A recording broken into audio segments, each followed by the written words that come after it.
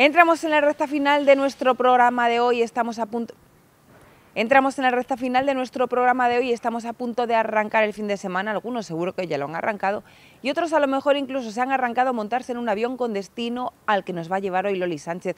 Buenas tardes Loli, bienvenida. Hola, buenas tardes, gracias. Loli, la semana pasada dejamos a nuestros espectadores con la miel en los labios para viajar a Chile. Exactamente. Atravesamos todo el Atlántico o nos vamos por el otro lado. No, atravesamos todo, claro, porque, bueno, esto es el programa de vuelo que tenga cada compañía, porque tú ya sabes que ellos van por alto vuelo y hay que acoplarse. Pero bueno, Santiago, que es la capital, eh, tiene vuelos directos desde Madrid. Ah, estupendo. Sí, eso ayuda mucho. También por conexiones, si se quiere, desde París, porque claro, ayer se montó un poco revuelo con lo que dijo la vicepresidenta. Ay, no la escuché, cuéntame qué ah, dijo. Pues ha dicho ah. que, que van a eh, prohibir o quitar, como se haga, ya veremos cómo sale aprobado, esto es lo que han dicho ahora, eh, los vuelos de menos de dos horas y media. Entonces, lo que es la Que, península... que los van a prohibir. Sí, ¿Cómo que porque es para ir en tren. Ah, mm, o sea, pero bueno, dos horas y media ya es Europa. Desde aquí tardas dos horas y media casi en llegar a Roma, no lo por sé, ejemplo. eso tendrá muchos más matices, ¿no? Porque ahora también tendrán que ver, porque es que nos quedamos sin conexiones. Entonces, Pero aquí en España no hay ningún vuelo que dure dos horas y media, ¿no? no, pero son los que son menos, porque eh, los que son eh, menos Ah, de dos- menos de dos horas Claro, y media. claro, porque ah, para que se poderlo que hacer vamos a llegar tren. desde aquí hasta Santiago de Compostela para hacer el camino de Santiago corriendo, a lo mejor. Para hacerlo en tren, Ah. para quitar eh, los vuelos. Hombre, yo creo que esto es un- una cosa como un poco extraña que no creo yo que llegue a un puerto, ¿no? Es que las conexiones, aeropuerto. como como ayer ya oí uno de una de la asociación de aérea y todo y decía que bueno que es que la persona que tiene conexiones, porque los vuelos nacionales es verdad que la mayoría se han quedado para conexiones, pero tú vas a hacer un vuelo largo y no es lo mismo coger el vuelo en tu ciudad o en una ciudad cercana, que aunque tengas que hacer traslado en Madrid, cambiar de vuelo, pero claro, no es lo mismo mm, de las horas, de la comodidad y de todas las cosas. Pero Entonces, echarán las compañías están y- un poco revuelto todo encima, hoy. ¿no? Hoy habrá que ver las noticias porque, no lo sé, yo creo que tanto no va a afectar porque... Hombre, tú imagínate un empresario que viaje por toda España y que ahora tenga que coger, que normalmente coja, yo qué sé, un vuelo desde Galicia hasta Barcelona, o desde Galicia hasta Madrid, o desde Galicia hasta Andalucía. Tú dile ahora que tiene que ir en tren o lo que sea, a ver qué te cuenta el empresario en cuestión, que está pagando sus impuestos. Pues sí. Pues ¿sabes qué pasará? Bueno, igual que todos, Que habrá más vuelos los que los paguen. porque cogerán aviones privados y será al contrario peor todavía, digo yo. No lo sé cómo quedará, pero hay revuelo en esto y hoy ya veremos las noticias que nos van contando y si verdaderamente sale aprobado eso, porque ya Estaremos ayer- pendientes, pero yo creo que no va a salir aprobado. Porque es que hay mucha gente, mucha gente del gobierno ahora, que viaja a Bruselas y tal, y no sé cuánto se tarda, pero igual desde Barcelona no tarda No, ni lo dos horas y calcularán para que ellos no tengan problemas. Claro, eso claro, No te preocupes. claro. Eso estará calculado. Yo espero que se quede en agua de borraja, porque si a mí me da la gana de irme a Barcelona en avión, que tardo nada y menos, a ver por qué voy a tener que coger un tren. Es que, es que es complicado, eso tendrá muchos más matices, digo yo. Lo veremos. Esperaremos. Bueno, entonces, de Madrid a Santiago. mientras tanto no me voy preocupando. Eso es, de Madrid a Santiago, que es lo que a nosotros nos interesa ahora. eh, el vuelo directo tarda 13 horas y media. Bueno, hablamos de un país que tiene el más largo del mundo, que tiene 6.000 kilómetros de longitud. Para que ustedes se hagan una idea, España de anchura tiene como 1.200 kilómetros, una cosa así, de norte a sur prácticamente igual. Pues tres veces más Exactamente. de largo.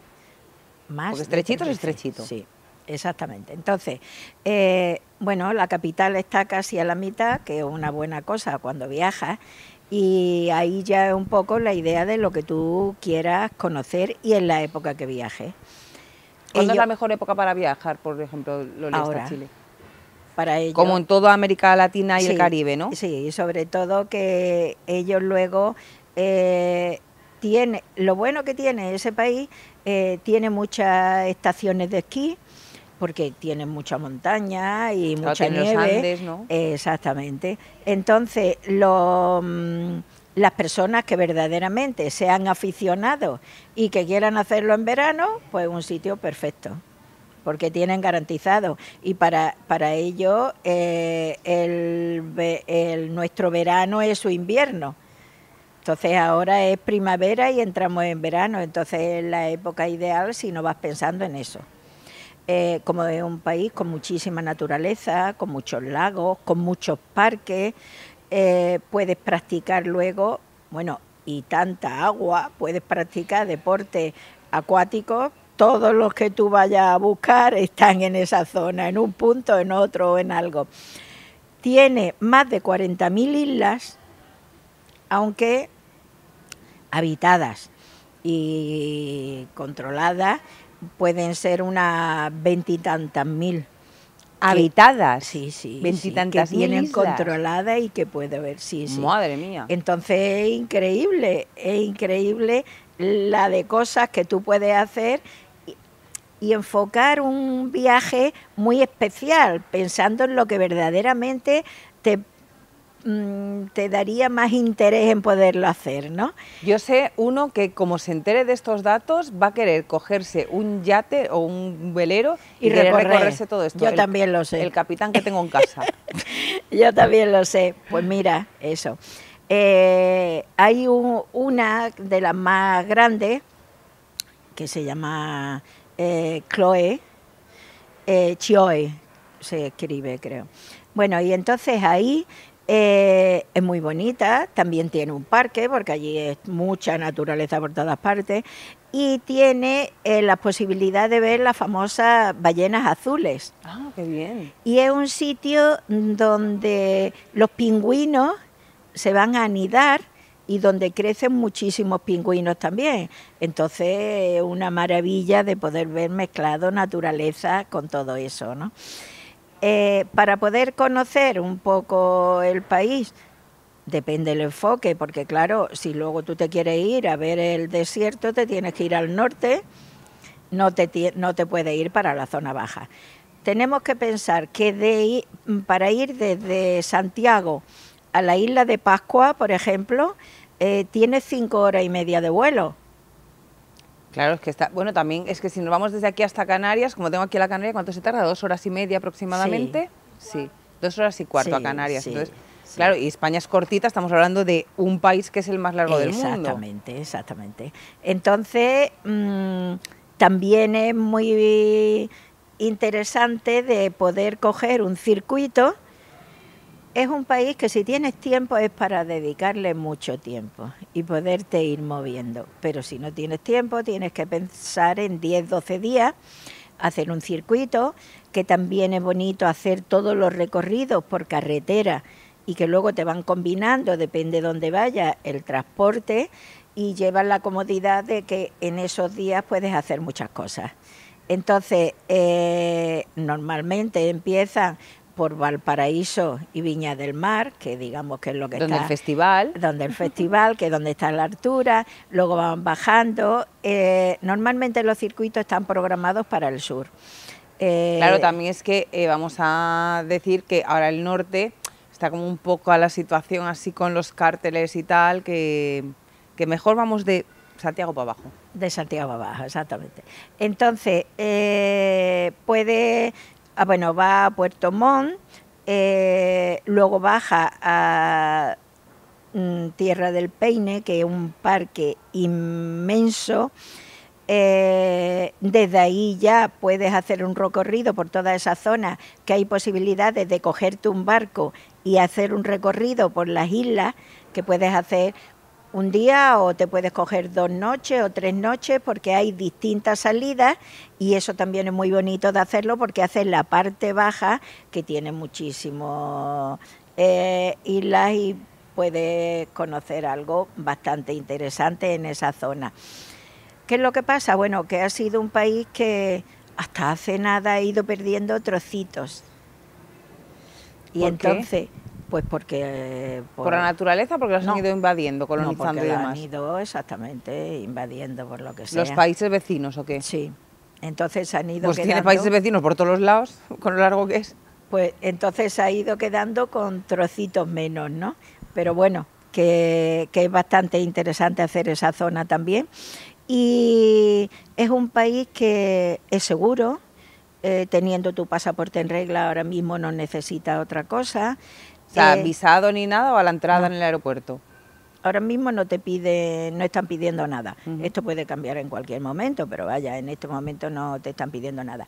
Tienes que estar, sabes, menos de tres meses. Si vas a estar más de tres meses, eso ya tienes que gestionarlo, pero en todas partes. Aquí pasa lo mismo, ¿no? Te piden un mínimo. Es recomendable que lleves un seguro de viaje extra, porque te lo piden. Tal vez porque Ah, te lo piden. te- no te lo exigen. Te piden, te recomiendan que lleves tu seguro de viaje. Bueno, yo siempre que viajo lo llevo por si acaso. Te vas Sí. más seguro y más tranquilo, para Hombre, que sea más seguro. supuesto, Pero hay muchísima gente que no lo coge. Pues eh, son muy baratitos y te quitas un peso de encima, que es que solo llamar a un médico porque te entra fiebre o cualquier cosa, de 100 dólares en cualquier lado no te los baja nadie. 100 euros o ciento y pico, vaya. Eh, ahora que has nombrado los euros, es un país que tiene, eh, bueno, su moneda el peso y que, que con 50 euros te dan casi mil pesos, que te sientes rica si cambias. Bueno, en Asia te sientes más porque en Tailandia y por ahí, por esos países que he ido yo, por 50 euros te dan como millones. Es una Hacer las barbaridad. cuentas a veces. Bueno, si es que te valía como una barra de pan, yo que sé, eh, 100.000 mm, algo, ¿no? Bueno, pues eso, eh, unos 50 euros equivale a eso. De hecho, es que te voy a contar una historia, Loli. En la isla Gili Trawangan, en Bali, pagamos por una cena un millón de, no sé si eran rupias su moneda, un millón de rupias o algo así. Un millón que hice una foto, digo, he pagado un millón por una cena. Fíjate, ¿eh? Y eran 65 euros o 50, O 50 y algo, así, 60, pero sí. sí. Y es un país más barato que España. No lo sé, pero dicen que puede estar sobre, para hacerte un cálculo cuando viajas, a lo mejor sobre un 20% menos que, que viajar por, por aquí. Ah, pero tampoco es mucho más barato, o sea, es un poquito. 20% Sí, se pero es que tú, por ejemplo, te vas a, yo que sé, a República Dominicana y demás, ¿no? Y eso es mucho más por debajo. Bueno, pero depende lo que hagas y dónde te vayas. Vale, yo me refiero, si tú vas en plan mochilero, el país Sí. tiene que ser muy baratito, ¿no? Sí. Otra cosa que tú te vayas de turista a restaurantes y demás, ¿no? sí, claro, que lo que esté preparando para, También para los, los, turistas... recorridos, si lo hace en bus, si lo hace en tren, si lo hace en avión, Claro, que lo todo que eso está- va contando, ¿no? Pero en general digamos que es sobre eso. Luego tú puedes ahorrar mucho más, evidentemente como pasa aquí, eso pasa en todos los países. Claro, tú yo te puedes sigo- buscar. Sigo a youtubers que son moteros, entonces eso, se van por países de América Latina, esos Claro. viven con dos euros al día, por eso te digo, claro, depende del rollo que lleves. Si vas en plan turista de postín, pues que te valga el restaurante un 20% menos de lo que te costaría en España. Pero si vas de turista, igual traperas, Sí. como vamos nosotros con la moto, cualquier cosa, mm, con nada lo haces. Claro, claro, es mucho. Porque claro, los sueldos de ellos estarán muy por... de- Bueno, Chile no sé cómo está, pero América Latina tiene unos sueldos muy por debajo de nosotros. Sí, sí, ellos también realmente lo tienen porque si no, no puede ser un 20% más barato las cosas. Está clarísimo. Te ponen ejemplos de cosas que, que importan aquí, pero claro, ¿qué le están pagando a las personas que están trabajando? Es que, es que aquí no se puede hacer por esos precios. Claro, es que me acuerdo, el otro día cuando estábamos hablando de la República Dominicana, por ejemplo, no sé si te lo he contado Loli, que una discoteca que fuimos con los eh, animadores del hotel, todos los de mi excursión, los de mi viaje de fin de carrera, pedíamos servicios en la, en la discoteca y te traían la botella de Brugal, que, que no hablamos otro día del Brugal y luego me lo dijo Loli fuera de antena, que nos hemos olvidado de hablar del Brugal. La botella de Brugal con tus seis refrescos o, o 12 refrescos, no me acuerdo, una barbaridad. Y valía 15 euros cuando ya una botella de esas aquí en España en una discoteca te valía 100 euros. Claro, es que Entonces, si ayer era 15, por eso te decía que, que si Chile solo era un 20% me parecía demasiado caro en comparación con lo que yo viví. En la República Dominicana depende dónde te vayas. A una discoteca de ellos. eh, exactamente, porque a la discoteca que yo te comenté que hay que ir a verla, Sí. 150 euros. Ah, claro, porque esa está preparada para el turismo y ahí te sangran bien. Entonces, si vas a las de ellos, por supuesto, pero por eso es los baremos de las cosas, Mm. de la diferencia de precios de un sitio y de otro.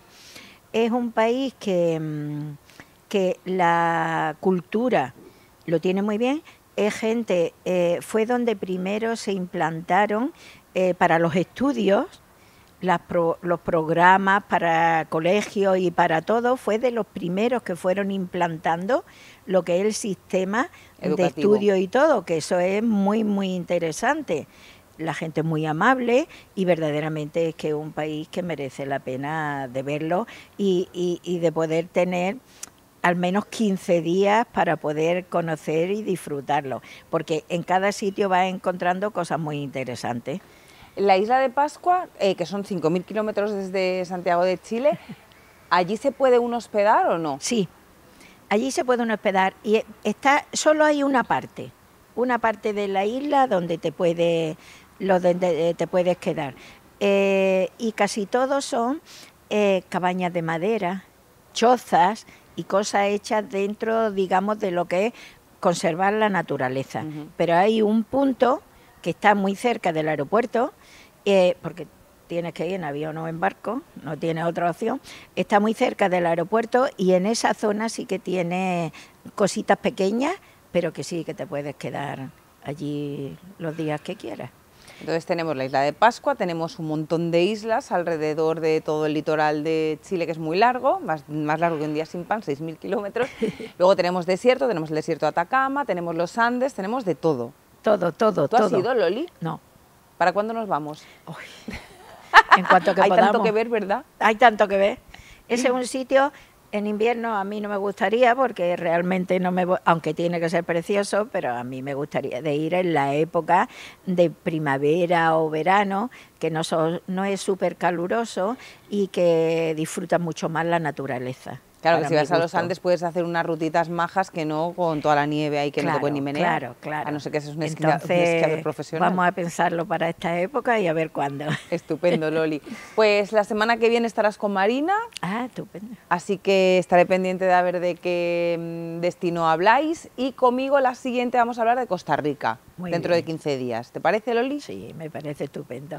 que disfruten la semana. Gracias.